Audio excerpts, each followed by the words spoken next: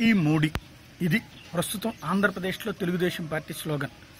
అహంభావంతో ప్రవర్తిస్తున్నటువంటి మోడీకి బుద్ధి చెప్పండి అన్నటువంటి నినాదంతో ప్రజల్లోకి వెళ్ళడానికి గట్టి కసరత్తే ప్రారంభించింది. అందులో భాగంగానే కేంద్ర ప్రభుత్వానికి సంబంధించినటువంటి పథకాలు ఏమేమి అడిగాం ఏమేమి ఇవ్వలేదు అసలు ఏమీ జరగలేదు ఏమీ చేయకపోవడానికి కారణం మోడీ కావాలని కక్ష కట్టడమే.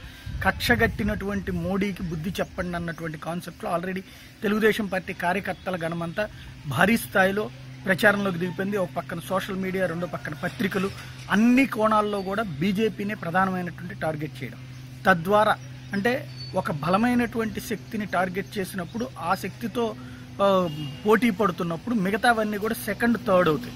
అంటే అప్పుడు వైఎస్ఆర్ కాంగ్రెస్ పార్టీ పోటీలో నుంచి పక్కకి వెళ్ళిపోతుంది జనసేన పోటీలో నుంచి పక్కకి వెళ్ళిపోతుంది ఎమోషన్ తీసుకొచ్చేటువంటి ప్రయోజనం మిగతా వాటన్నిటిని కూడా డామినేట్ చేస్తుంది. ఎమోషన్ అనేటువంటిది ఒక పెద్ద ఓట్ బ్యాంక్గా ఉంటుంది. దానికి సజీవమైనటువంటి సాక్ష్యం అంతకుముందు పార్టీ చీలికల మధ్యన గిలగిలలాడినటువంటి తెలంగాణ రాష్ట్ర సమితి ఏకంగా అధికారంలోకి రాగలగటం. ఇవాళ అదే తంత్రాన్ని చంద్రబాబు నాయుడు చాలా స్ట్రాటజిక్గా పర్ఫెక్ట్గా ప్లాన్ చేస్తున్నారు.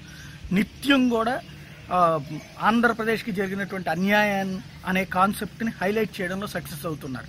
తద్వారా బీజేపీని పూర్తిగా బొంద పెట్టడం ఒక ఎత్తు అయితే రెండో పక్కన జగన్ని జనసేనని సెకండ్ థర్డ్ ప్లేసులకి తీసుకెళ్ళడం. ఈ మూడంచెల వ్యూహాన్ని రాజకీయ చతురతతో అయితే చంద్రబాబు నాయుడు ప్రదర్శిస్తున్నారు. దీని ఫలితం ఎట్లా ఉంటుంది? భవిష్యత్తులో ఇదే ఏడాదిన్నర పాటు అంటే దాదాపుగా పద్నాలుగు నెలల పాటు ఇదే ఎమోషన్ని క్యారీ చేయగలుగుతారా? ఈలోపు వేరే ప్రశ్నలు ఏమీ ఉత్పన్నం కాకుండా ఉంటాయా అనేటువంటి దాని మీద ఆధారపడి ఉంటుంది.